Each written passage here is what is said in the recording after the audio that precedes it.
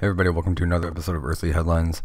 Uh, today, I found this article titled 15,000 Year Old Idaho Archaeology Site Now Among America's Oldest. So, this is another pre Clovis site that's been discovered in North America and it's being added to this growing list of pre Clovis sites in in North America. The, the oldest being, I think, the Cerutti Mastodon site in San Diego, which I visited uh, a couple weeks ago and I have a few pictures of myself uh, with the bones in the display the display case that I'll probably post at some point.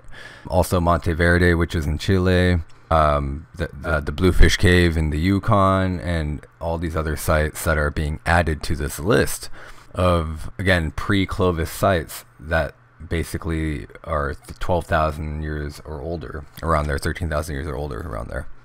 Anyway, uh, the artifacts from the Cooper's Ferry site poke more holes in the traditional theory, basically the Clovis First theory, of when people arrived in the Americas. Uh, one of the oldest archaeological sites in the Americas has been discovered in western Idaho, according to a study published in the journal Science, very prestigious journal. Radiocarbon dates show that people were creating tools and butchering animals in Cooper's Ferry between 15,000 and 16,000 years ago. So to give you guys some um, uh, back, some next here. So Cooper's here's uh, western Idaho here. Cooper's Ferry is a, is along the Salmon River, which is a tributary to uh, the Columbia River here. And as you can see, you can see the ice-free corridor in this map on the top right here. And this is the Laurentide ice sheet and the Cordilleran ice sheet. And if you're familiar with uh, the Clovis First model, they came through this uh, ice-free corridor uh, about 13 so years ago. And then they went through and made their way here. Um, the theory that's now gaining more steam is if you look on the left side of the map, this close this coastline here, um, these seafaring people who either came from Beringia, Siberia, parts of Asia, they surfed the coastline here, and then when they got to around what's modern day Portland or Astoria, there's the mouth of the Columbia River that exits into uh, the Pacific Ocean. Well, the hypothesis is that they came through here and then they made their way inland and eventually to Cooper's Ferry. And again, the the theory pokes a hole in um, the Clovis First model, which we'll uh, keep continue right here. But uh, some of the oldest stuff at Cooper's Ferry again is aged between 15,000 and 16,000 years old, and we'll get into the details of that in a second. So if you don't know what Clovis First is, the Clovis First hypothesis is that the people who made these tools first entered North America on foot from Asia by crossing Beringia, and these tools meaning these Clovis type of tools, which is a, a specific type of tool that that uh, dates to around the time of the Clovis people, which again is named after the Clovis site in New Mexico, which is why they're called Clovis culture. Uh, who knows what they call themselves? And then, as the article goes, has, um, the researchers started finding artifacts older than Clovis across America. So again, like Bluefish uh, Cave, uh, Cerutti Mastodon site, um, this place in Texas called uh, the Friedkin and uh, Gault site, uh, the Paisley Caves in Oregon, and so on and so on. And I think there's a there's a site in Florida, and they found some stuff in the East Coast as well. So again, there's stuff all over the place in the Americas that predate the uh, the Clovis culture. And yeah, here's another one. Monte Verde is about 14,500 years old. The Fried Friedkin and Gault site that I just mentioned, 15,500, 16,000 years old. Paisley Caves, over 14,000 years old. I feel like a broken record. I, have said this like three times already, but you get the point. Mm. At the bottom of a bend in the lower Salmon River, this is where the Cooper's Ferry is. The indigenous people at the time were called the Nimiipuu which is also known as the Nez Perce, which is the indigenous people again referred referring to the site as an ancient village called Nipihe or Nipehe or Nipehi. I'm not sure how to say that. Nipehe. Um, but yeah, that uh, that this is the ancestral name of the site according to the indigenous people. The site was first excavated in 1997, and they found the stone points, which they dubbed uh, the stem, the western stemmed points, which become uh, very important later on. This guy, he's doing his PhD dissertation in 1997. He goes, he excavates these stemmed points. He radiocarbon dates some of the bone and charcoal in the area, which is buried in, in the, same small pit. And he came up with dates 13,300 years old. So back in 97, that was unheard of. And so he returns 10 years later because the site uh, stuck in his head for that long. And he wanted to know, uh, naturally, uh, if there are even older tools in the area, specifically older, to- older than Clovis, uh, the Clovis culture. So when he came back, they found even more evidence of heat-cracked rocks from ancient campfires, workspaces for, for making re- and repairing tools, butchering sites, fragments of animal bone, and then they sent some more charcoal from a hearth that they found, radiocarbon dated that, and it came up with the 14,000 year old age range. So stuff keeps getting older and older.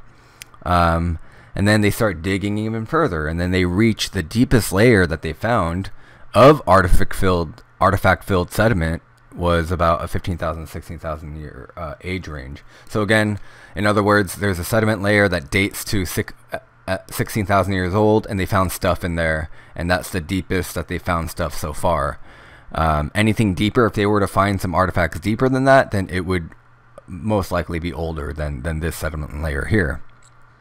So now, um, if you were to look at this on a map, if you were to plot, let's see, if you were to plot everything on a map here, if you look at the U.S., um, the Yukon site is up here, and then there there's a site in or there's two sites in Oregon, and and then there's this site in Western Idaho, and then if you go down, there was a site uh, in the Channel Islands off of uh, uh, California, the Cerutti Mastodon site in San Diego, and then all the way down to Chile. Down here, there's a site here. So, what's the pattern here, guys? Well, it seems like these areas are dotting the west coast of both Americas. It's very interesting. Um, and it gets even more interesting.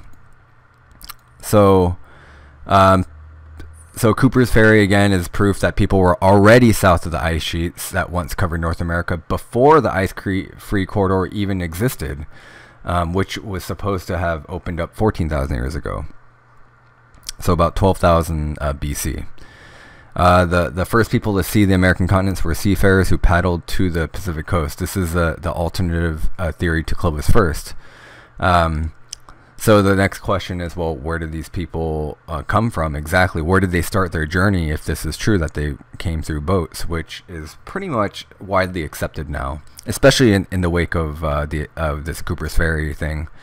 Um, and this guy says the most parsim- parsimonious explanation we can think of is that people came down the Pacific coast, and as they encountered the mouth of the Columbia River, they essentially found an off ramp from this coastal migration and also found their first viable interior route to the areas that are south of the, and uh, past the ice sheet. So, in other words, like I said earlier, these people come come down the coast. Some of them go through the Columbia River and inland. Others keep making the journey south, eventually passing uh, Channel Islands in California, Baja California, Mexico, um, Central America, and into South America.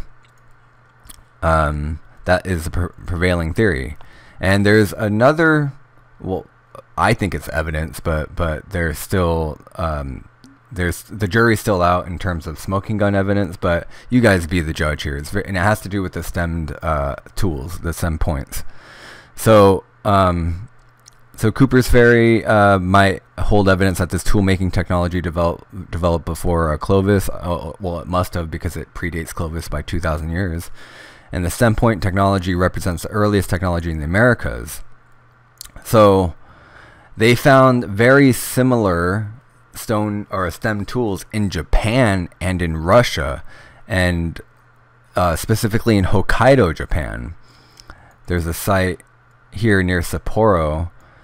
Uh, I forget the name of the site. Um, I think it's called uh, Kashi. What's it called? Yeah, Kami Shiritaki. So that's somewhere in the north the north uh, eastern part of Hokkaido up here. And then they also found these stemmed points on this Russian island here, this peninsula here, uh, Kamchatsky. So these two places have the same stemmed uh, tool technology, and if they had boats, let's let's just say, for instance, they started in Hokkaido, and then they just went through th- these chain of islands up through here, spread left their culture or and their technology there, crossed the Bering uh, well, at the time it would have been the Bering Land Bridge. Again, still on boats, right? Going through all the way down the west coast. Well, the path is there, and it's possible for them to, to do it. Plus, they leave these stemmed tools, these stemmed points, kind of like a, a breadcrumbs, all the way down. So it's only a matter of time before they start finding more and more of these tools. And I would, if I had to hypothesize, uh, if they found one significant site like uh, Cooper's Ferry that has an abundance of these, there's the odds are probably high that there's another site just like it featuring the same tools in the same sediment layer, which would mean at the same time. And again, these tools in Japan date about between 13,000 to 16,500 years ago. So it's right within that time range. Um, and here's some pictures. So the, uh, these points right here are the ones found in Japan on the left. And on the top right are the ones found uh, in the Americas. And you can see the very, very similar way that, that um, these are, are created. Uh, it's very interesting. And then here are some pictures of the actual site. This is Cooper's Ferry site near the banks. Of, this is the Salmon River, so it was along the banks here. Um, this is the map. This is the actual excavation site here. You can see it's pretty, pretty uh, meticulously uh, uh, studied, and it goes pretty deep. And if they conceivably go deeper, there's probably more stuff there. And I'm not sure how deep they'll go, but I mean, it's the jury is out to how old everything could be there. Um, and then what this guy who uh, was conducting the the Hokkaido um, the Hokkaido excavations, he claims that the similarity is no coincidence. This is where you guys be the judge here. He suggests that the similar stone tool technology is evidence of a cultural link between the earliest Americans who arrived on the Pacific coast and migrated southward before moving inland south of the ice sheets, again through the Columbia River, and people in northeastern Asia. So the dates line up well. Obviously, I mentioned that earlier. The technology lines up. Um, their path is very obvious here, and the fact that they found some in Russia, this part of Siberia, is also very, very telling. Because if you were to uh, imagine this as like a jigsaw puzzle, well, Sapporo's there, this part of Siberia is there, the the Bluefish Caves are there, uh, parts of Alaska and Beringia are there. And then you have the ice, ice here where, in which there's really not much. And then it picks up again in the Pacific Northwest.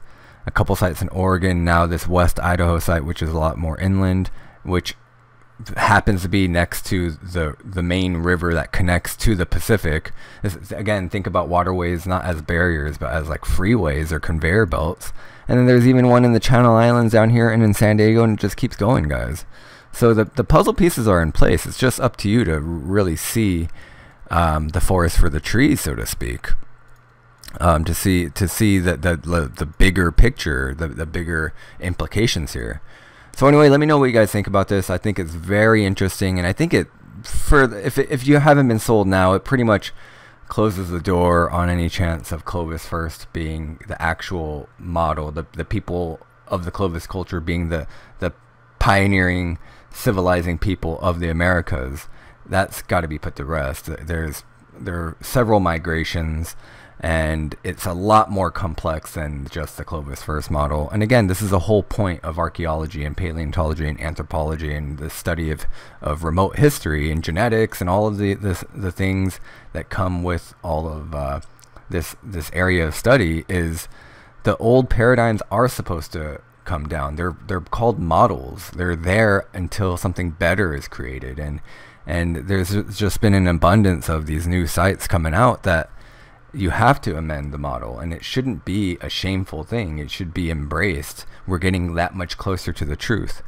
Uh, so anyway let me know what you guys think and uh, i'll have the links below and i'll talk to you later